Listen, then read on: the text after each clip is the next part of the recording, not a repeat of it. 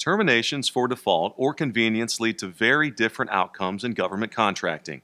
In a termination for default, the government has essentially decided to terminate the contract for cause, and in many situations seek to come after you for damages. How you handle the agency's final decision is crucial to the outcome either on appeal or for your company's future in doing business with the federal government.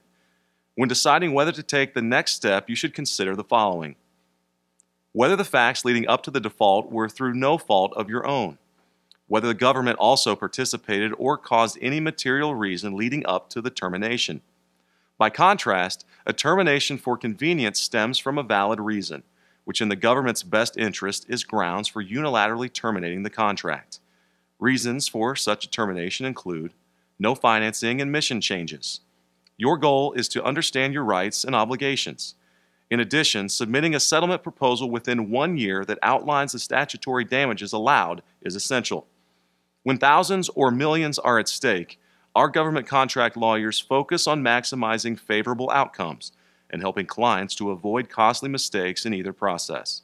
Call 1 866 601 5518 for immediate help.